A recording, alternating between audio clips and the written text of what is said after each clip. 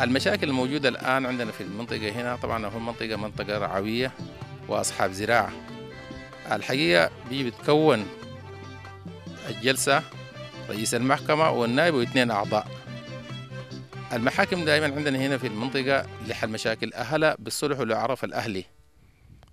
فنحن دائما في المحكمة الأهلية بنحاول مع أهلنا دائما نحاول نشوف ناس جوديات يقوموا بحل المشاكل.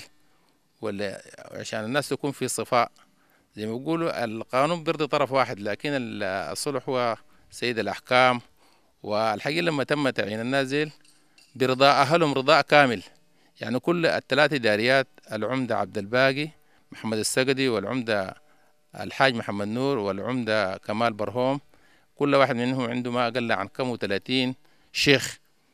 الحقيقة جو طالبونا وقالوا يا أخواننا نحن عاوزينكم أنتم تكونوا كناس يعني ترأسوا لنا هذه المحاكم وتحلوا لنا مشاكل أهلنا وحلول اللي بتعملوا به ده نحن نكون رضيانين به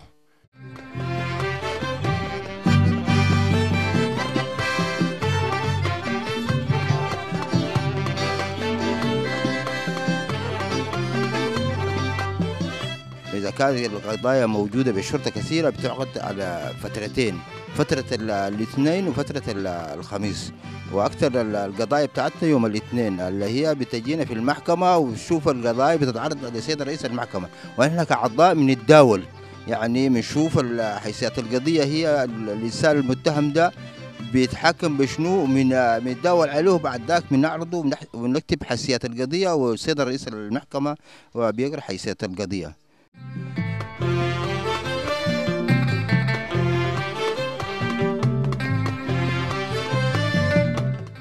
القضايا دي كلها منجمعة ونهاية الشهر قبل يوم 27 إحنا بنعمل إحصائية للقضايا اللي, اللي اشتغلناها.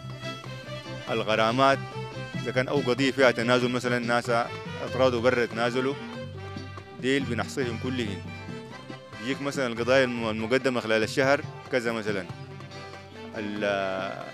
القضايا المحكومة كذا.